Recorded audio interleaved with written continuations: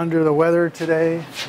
Um, what are we going to do? We're going to uh, talk over two other possible topics for the research paper.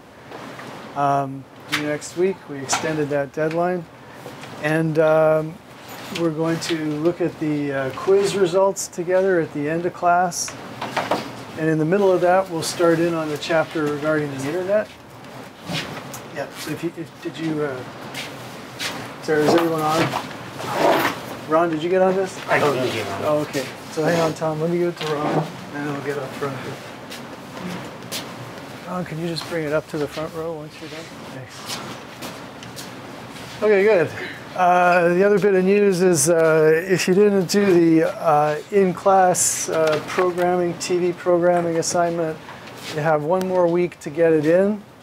Um, so it can be done uh, at the prompt for, if I go through assignments, let's just go here first. There's a TV programming assignment. It's pretty self-evident. It's worth doing. For those who haven't done it yet, you should do it. Uh, it's points and uh, it's also uh, um, good good uh, practice for uh, these concepts will come up on the midterm exam too. So that's worth having. I sent out an email, like just an announcement to everybody that if you haven't done it yet, you should do it. That doesn't mean that you personally didn't do it. It's up to you to figure out whether you actually did this thing or not. Uh, but uh, it's a whole bunch of people have done it, and uh, I gave a grade to those who did it. So those who didn't do it, uh, here's the prompt to find that. Thomas, you don't have access to that, right? I'll give you give you one on paper. Those of you who are wondering, that is the assignment, thank you, that we did in class. Thomas, yeah, she's right. That's the one we did in class regarding different programming, uh, TV programming strategies like tentpoling, um, hammocking, leading in, so on and so forth. Yeah, all of those. So uh, that's if you if you remember doing that, then you're good. Otherwise, you should do it. Okay, so we promised to talk about the research paper again, which is probably open. Oh no, it's not open in student view. Let's go back. Research paper. See it in student view. Right. So we talked about two of the two of the uh, possible topics. So you have to pick one topic out of the four that are assigned. And uh, just to remind you that um, the guidelines for these research papers are in a separate link at the bottom because that's what um, was easiest. And uh, both, both papers have the same guidelines. So they should be four to six pages in length. In other words, just write four full pages and you're good. If you need to go beyond it, that's great.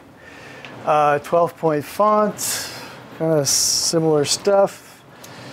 Um, so regarding references and such, it's called a research paper, so you can't make this up out of your head.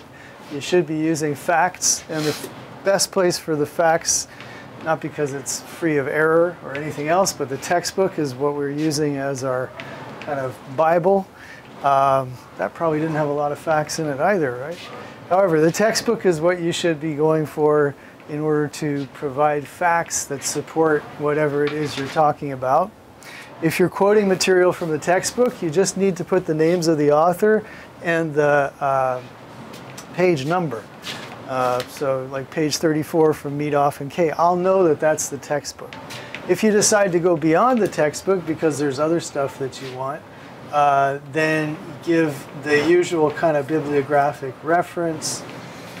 Somewhere in here, you'd, you'd want to give, um, we'll use, I'll put a link into APA style uh, for, just so you know how to cite anything else. But uh, it's really very simple to cite other stuff. The main thing though is do cite things that you use and do use uh, factual resources to support what you said. So it's not enough that it was on the PowerPoint or that we said it in class or you've heard it.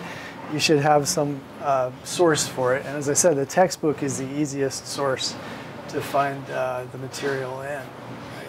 There's an index in the back of the textbook. You can look stuff up. So, so You won't do as well if you don't cite the textbook. So do, do get whatever information you can get out of the textbook. Okay, so four pages. Got it. Right. So there's a filter on the assignment prompt which only takes uh, doc, docx, or PDF. So if you're trying to upload pages, it won't take it. Um, and you can always print it out and give it to me in class if you wish. I prefer it online, but uh, if you want to print it or handwrite it, that's okay too. Okay. So uh, this will be uh, acceptable after the due date, but there's a 10% penalty per week, which is the way things usually are. And the due date is uh, February 27th class, so next next week. Uh, but if you do have to go beyond, you know, get it in within another week, and it's not going to be that painful for sure. So uh, big points attached to this. Uh, so far, um, this is worth as much as everything we've done so far.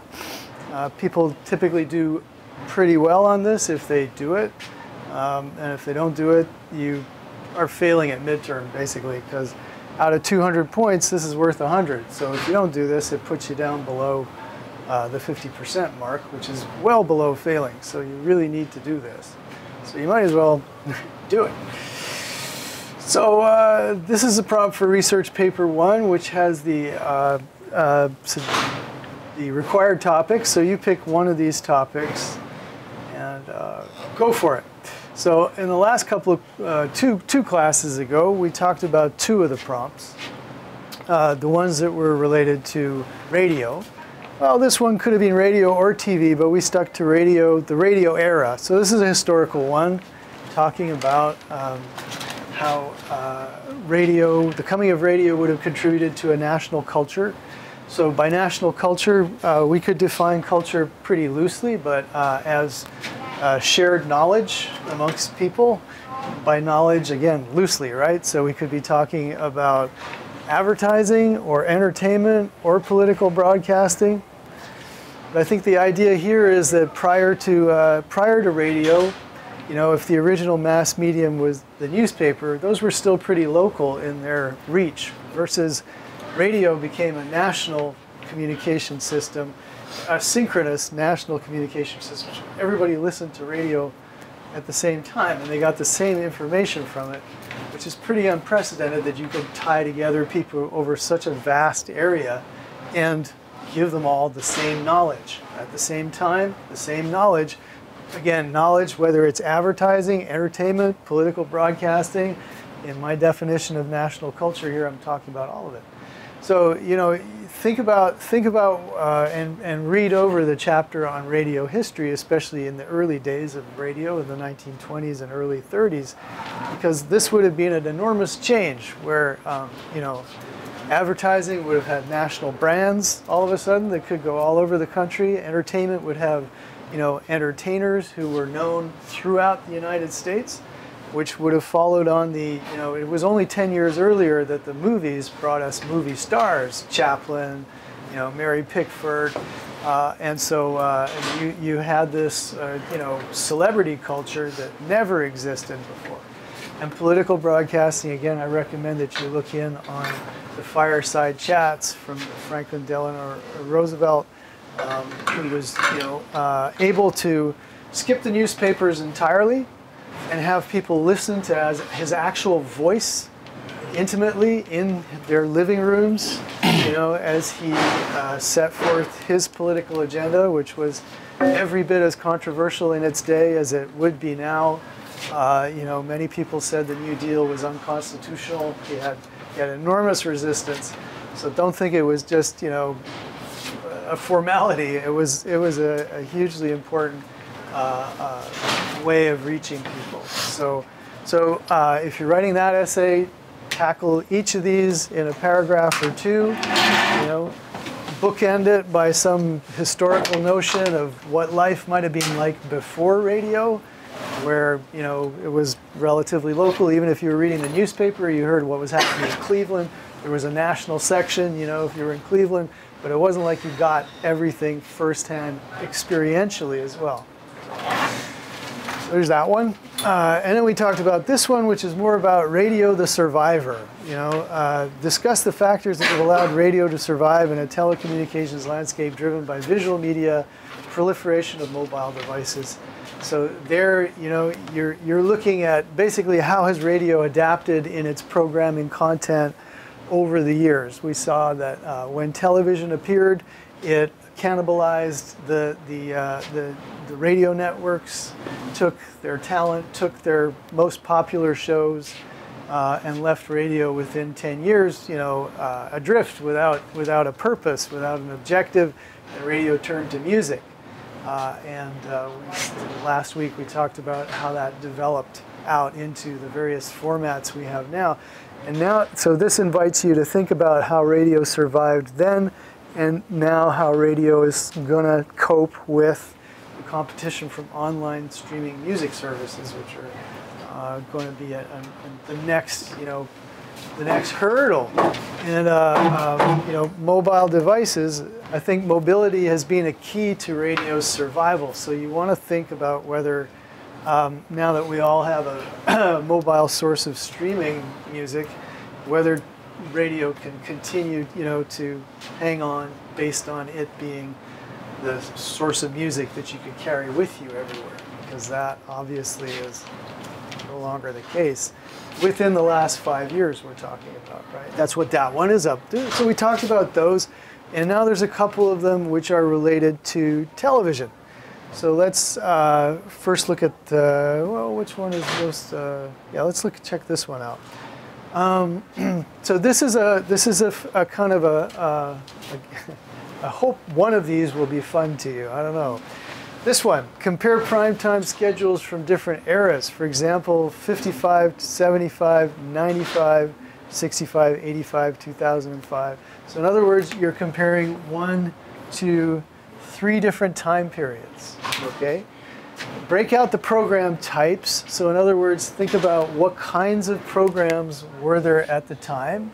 Uh, you know, uh, you know, if we were looking at, if we were going to go 2005 or something, you know, you'd want to acknowledge the experience, the appearance of reality TV, for instance, at that time versus 1985 versus 1965 you know, 85, what might have been good. And you can look all, you know, your textbook has plenty of, of, of breakdown about this.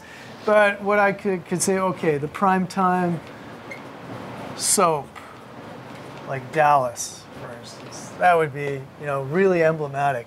1965, was there something like uh, the Mod Squad? That's probably a tiny bit too early for that, or then prior to that, you would get things like Gunsmoke whatever. So uh, I picked that one for another reason. Okay. So draw conclusions about the type of world that was reflected in television's mirror from each era. Ratings for various time periods can be found at TV Ratings Index what you want to do is, okay, I'm going to do this. Let's say, and I picked 1965, so click through to 65 and see what's on. It's old stuff. Bonanza, Gomer Pyle, The Lucy Show, The Red Skelton Show, Batman. Anyone seen the original Batman? Yeah, that has a real kitschy class to it. That's, that's, that's worth seeing still. Um, uh, Andy Griffith, Bewitched, Beverly Hillbillies. Okay, so it's all uh, it's all stuff that I would have put with my arrow up there. Let's just cheat a little bit. Let's look at 1968, the year of the Democratic Convention. Okay. 68, 69. Laugh-In. Um, you can check out a couple of those um, uh, on YouTube. That might be interesting.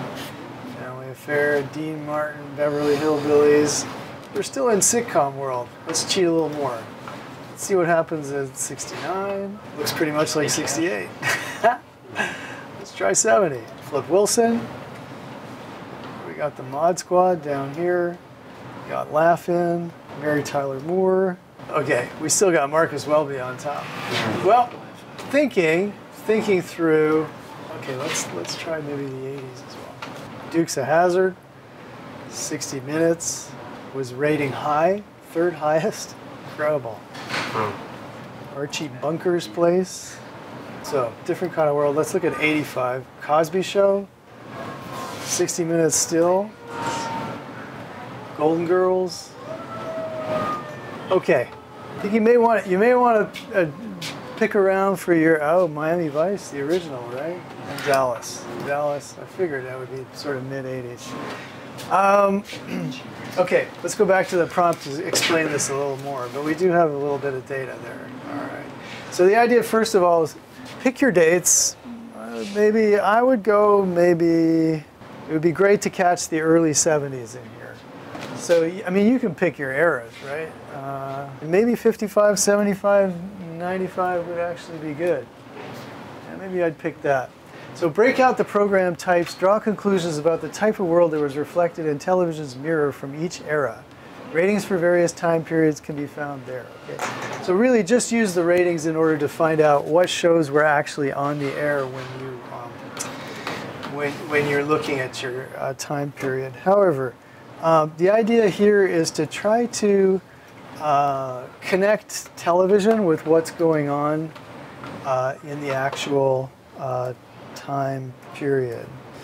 So let's just go for the 1960s if we said that, okay. So each decade is going to have um, all about the current events that are happening. And it's also even going to have something about television as well, talking about the most prominent shows. Um, so what you're trying to do is connect connect the sort of social history that's going on at that time with what you see on television. Um, so you know, in the 60s, which is a period when the country is you know liberalizing, it's the civil rights era. There's there's a, um, a good deal of, of social change happening. You can find those old shows like Gunsmoke, which are basically westerns, which could have been made in you know the 40s, the 50s, or anything. But you'll see new shows that uh, that have a more uh, more of an interest in diversity, more of a more more uh, younger characters and social themes in them. You know, so if you're looking in the 60s, in, well, we, we found it actually in the it was 1970 actually it was the Mod Squad. So I think what's interesting is just to see how does television reflect, if at all, the social changes that are going on at the time.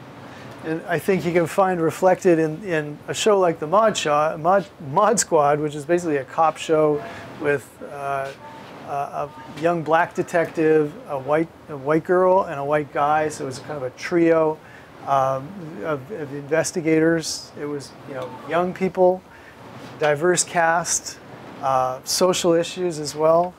This is the period also where you'll find things like All in the Family and all of the um, uh, the Norman Lear situation comedies, which were all socially committed. You know, the Archie Bunker was a sort of this right-wing bigot in there. So, uh, you know, working class guy who was challenged by his, you know, family life with his hippie son, son-in-law and stuff. So, basically, what you're looking at is you're you're just thinking about the social history that's happening in each era, and then trying to connect it to TV. You know, um, Dallas, an enormously popular kind of basically a prime time but an hour-long soap opera about you know the miseries of super rich people uh, coming up you know in the mid 1980s in the Reagan era where you know there was just a lot of a lot of deregulation a lot of a lot of uh, money and such flying around conspicuous consumption. Uh, 2005 you know looking at maybe reality TV as as uh, um,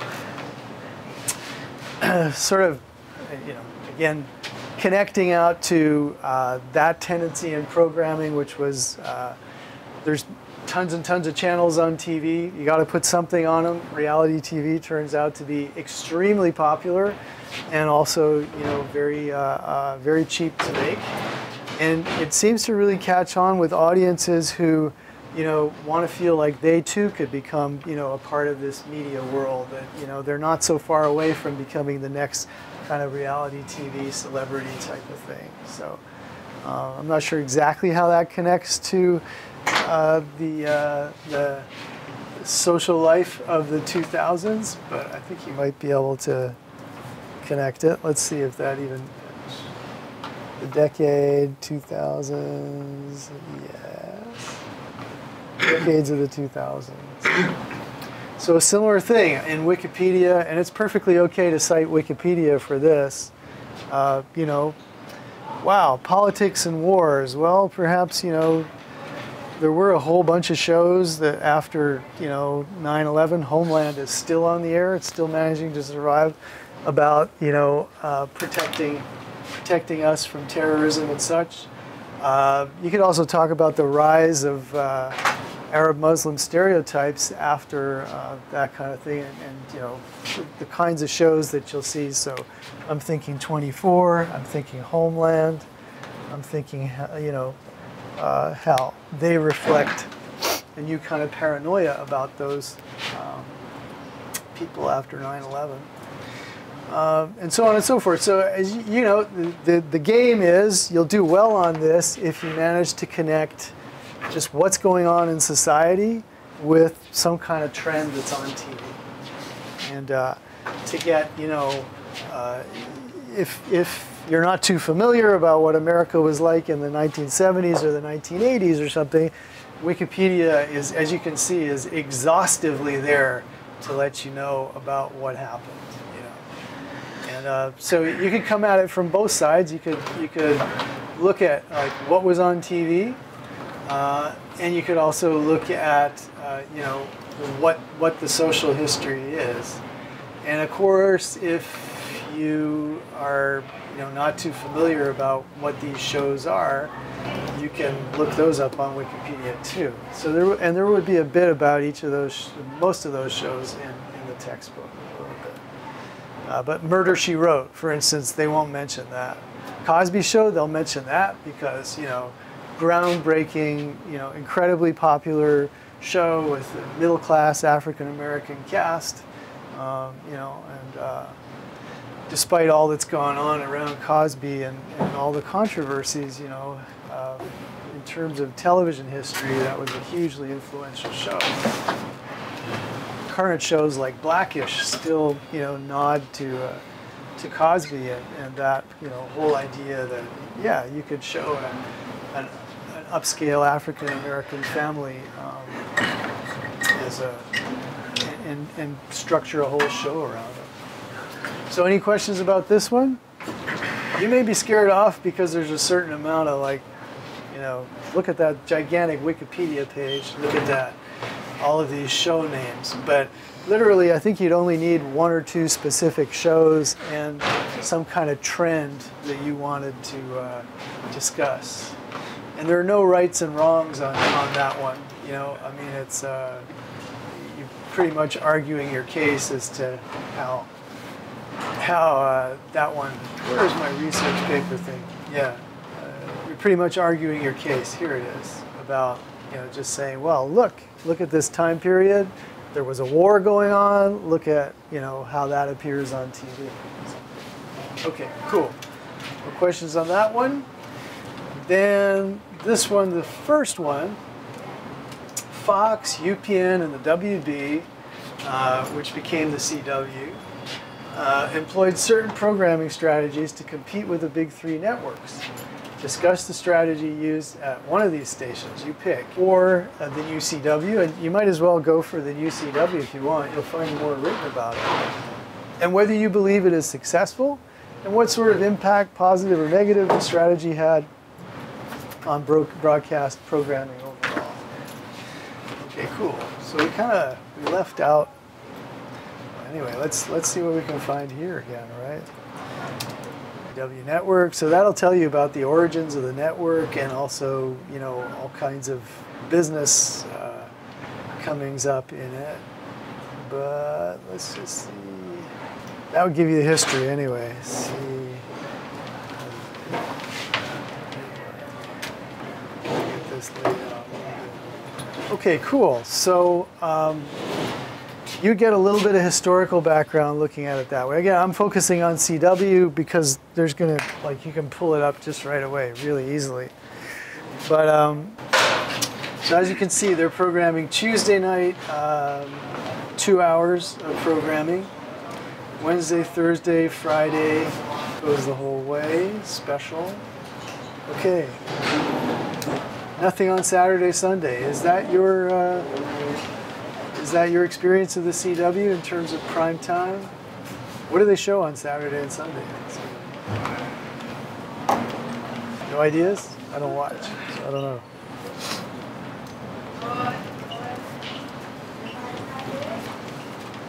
I think it's a bunch of infomercials. Really? The last time I watched the CW could have been like two, three years ago.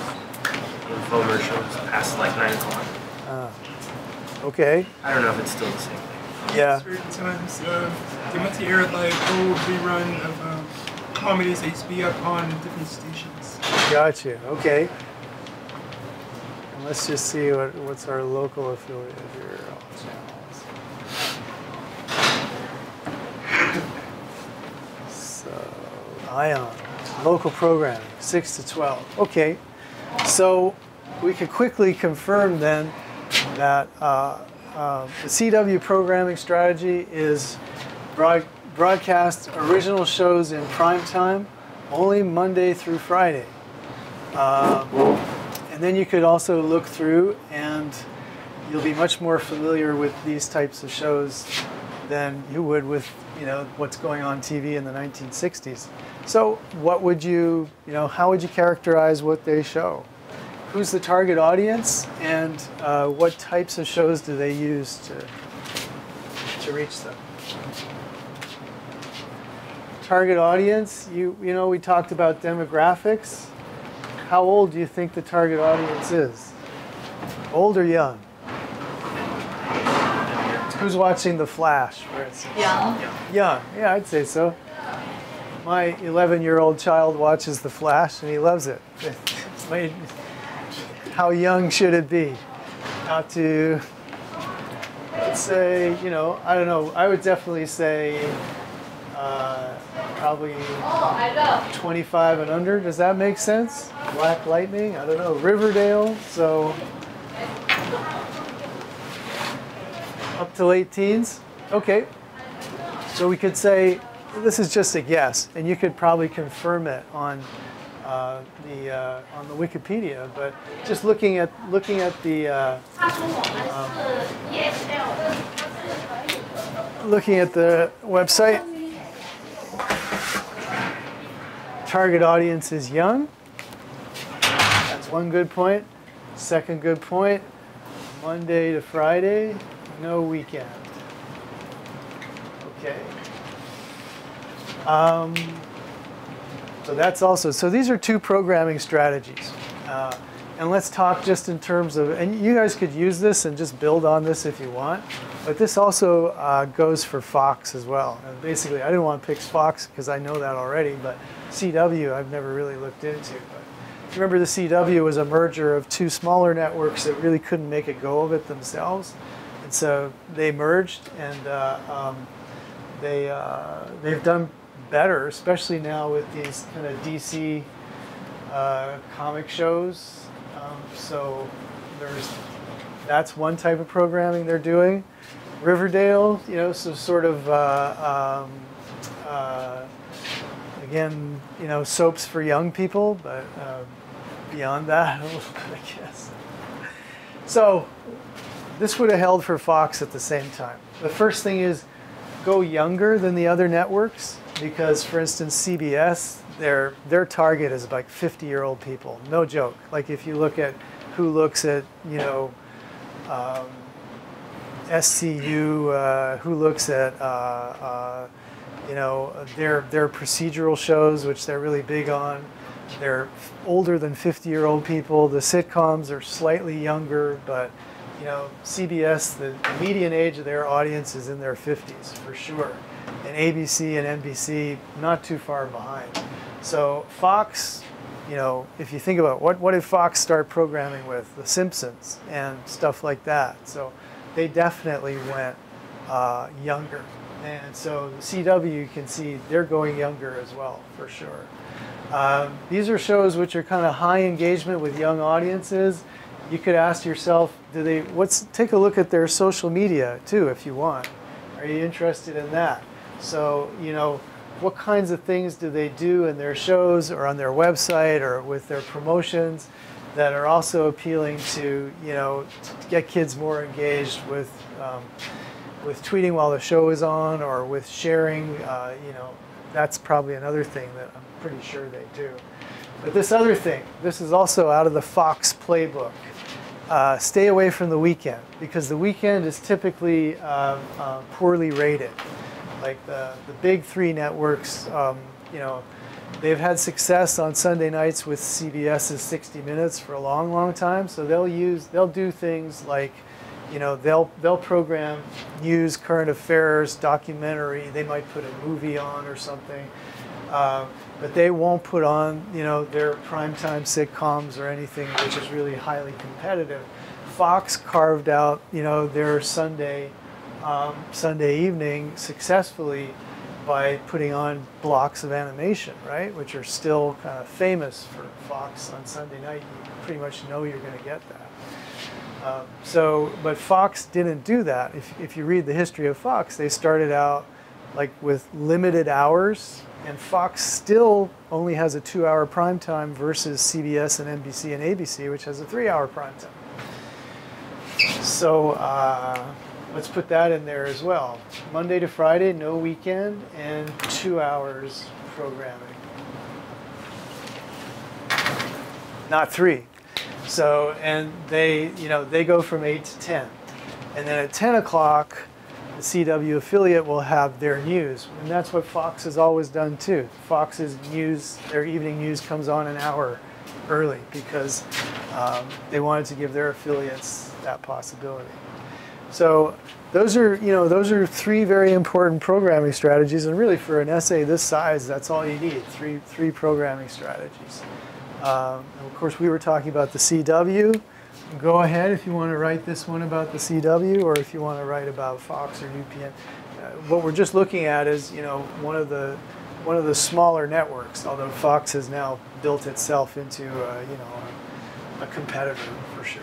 So, so that's what you'd be doing. You'd say, say okay, I three, see these three programming strategies, um, and uh, and then talk about how they differ, how that makes them, you know, the CW different from CBS, NBC, or ABC, basically. So, whether you believe it is successful, what sort of impact, positive or negative, the strategy has had on broadcast programming overall. So, uh, uh, you know, the kinds of shows that you see up there on on those um, on those uh, networks, you know, what do, what do you think about how you know, how the, how the rest of the industry or the rest of the networks may respond around that type of content.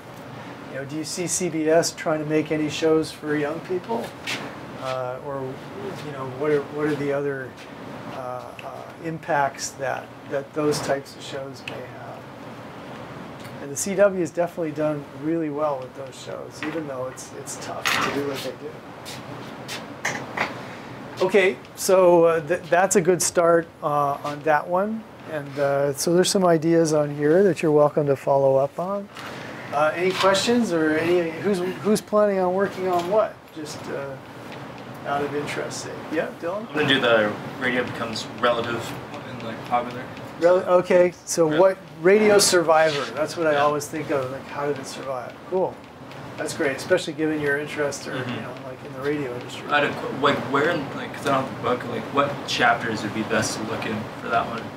Uh, chapter four on radio programming for sure, and then chapter one uh, is it one? I guess it's two, because one is like the overview. So chapter two would be like the the history of radio. Okay. So you know, look especially at that critical period of the you know late 1940s and early 50s on the history chapter because that's when uh, radio loses you know all the variety shows, all the other shows go over to television. Perfect. Yeah. and then chapter four to talk, think about you know all the current events. Okay.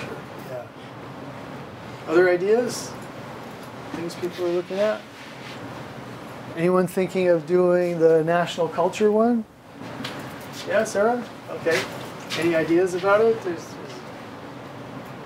just seems seems interesting. It seems interesting because because I'm not from here, it's a little difficult for me to do something like yeah. very historical because still right now I don't watch TV Yes. specifically. So even knowing the content, I mean, I could do that in, for Italian things, but I don't think it's interesting for you. So Thank you. you know, because I know, I mean, it's something about your culture, and because this is not my culture, and I still don't watch TV, I don't really feel to criticize something that I don't really know. Yeah, I got you. No. Yeah, yeah. So that one is interesting because I can discover even Yeah, that that one is yeah. It, it it's overall exactly vision. exactly. You know, and that that type of cultural transformation would be universal in, in any in, in any country where you know electronic media takes hold. Yeah. Versus you know the one we were just discussing. It as I was talking about it, I was thinking. You know, has anybody ever heard of these shows before? And how much of an effort that you guys would have to make in order to find out about you know some of these shows and, and uh, you know since they're absolutely foreign to to you then it'd be like every single show you'd have to look up versus Thomas and I probably watched a lot of them when they sure. were in reruns at least you know sure. so so that's that that makes that one easier more comfortable to, to draw those connections yeah any others? Any anybody working on uh, the the CW one, the one we just talked about? Ron, yeah. Are you thinking of the CW or Yeah. yeah? Um. I guess like one subject I might uh, geared towards like what on earth today inspired be. I mean, you said yours like big feed networks, so I'm wondering. Um, I already know it's like there's no way anyone uh, any one network would actually want to just stay in the same lane unless they don't want to lose their footing. But if you want to just grow bigger as a uh, as a broadcasting company and I could at least be about be uh, the big one of the big four even. Like what is it? What is your overall future aspiration Uh huh. Uh huh. for its overall broadcasting? Yeah, I mean, you know, I think I think that what it's a, it's really a game of survival, you know. And CW has uh, they've gone from scraping by to doing pretty well, you know, in their current strategy. And, and um, yeah, I, I think it's it's they've they've been very successful within the you know within the reduced expectations that they have, and that you know a lot of their shows are rated, you know, two and a half, three, um, which would probably get them canceled on a CBS or an NBC, you know, which are looking for like sevens and eights. But but given the expectation is lower for the CW, and given that they have a great target on young people that those other networks can't get, that you know that's enough to to be. You know, I think anyone would consider it a success. Because think of it in terms of a media buyer, you want to reach young people. You, you know, you can spend a fortune going to the Big Bang Theory, which would, you know, it probably has equal numbers of young people and it's got a ton of old people, but you'd be throwing away so much money, re, you know, with all those old people who are watching CBS versus you can get cheaper, better targeting from the CW. And maybe you don't have such a giant audience, but but they're they're the people you want to reach. You know, if you have a product for for young people, so that's that's how they can really do well. And then they keep the cost under control by only you know, only competing in prime time. So they don't they don't try to compete over the weekend because that rate's even lower. And the kinds of shows that work on the weekend, you know, current affairs and that kind of thing, it's it's like their audience of young people are out, you know, having fun. They're not sitting at home watching 60 Minutes. You know, so so it makes a lot of sense what they're doing. And, uh, and, and it's being, you know, again, they're not, they won't rival the big four, but they will they have their niche and they're doing well in their niche now with these you know with Riverdale and with the, the Flash and those types of shows. you know, another thing is that, that they're they're creating content which goes on Netflix or Hulu afterwards, and therefore that keeps making money for them for a long, long time. So that's that's important too. Yep. So that's a good topic. You got a good angle on it too. And are we we missing any? Oh, so this historical compare primetime schedules. Thomas, you thinking of doing that one? I'm just was thinking about the, the Mod Squad 1970. Yeah, that's so that's this one where you compare sort of three different eras. Yeah. Yeah. Okay. That would be interesting. Given given that you know most of the shows. from- Yeah, I remember. Yeah. In fact, I was just watching it on PBS uh, just a couple days ago. You know, the, uh, the Archie Bunker and all Uh-huh. the family stuff. You know, they had an interview with, uh, I think it's Norman Lear. Yeah. Yeah, and uh, uh, he was. They were going back to some of the topics that he discussed because back in those days, you know, it was a whole different scene. You know, uh, to bring up abortion was like a controversial thing. You know, Yeah. With the Roe v. Wade and all that. Even even the birth control pill was. Yeah. like, if you made a joke about that, it was. Right, super and then also the racial part, the black versus, you know, and white uh, thing was, was you remember? Because uh, Archie Bunker was the first one on TV to, to kiss another black man, Mm-hmm. you know, and they showed that, you know, so it was, uh, Yeah. You know? Yeah. And you know Norman Lear's still alive. I guess you saw Is him. he really? Yeah. He's still. He published a memoir, and he's in his 90s, and uh, and he's uh, um, an executive producer on a Netflix show. It's the reboot of One Day at a Time, which he Oh, put, yeah. put back together uh, with a new kind of a new cast. Uh-huh. Yeah. So he's Oh. still really active. yeah. He's got to be up there. He's got to be in the He is in his 90s. Yeah. Yeah, wow. So, uh, well, there you go. Okay. Anybody else? No questions about this? So, get on it. we extended it a week, which was really necessary given how I'd scheduled everything for sure.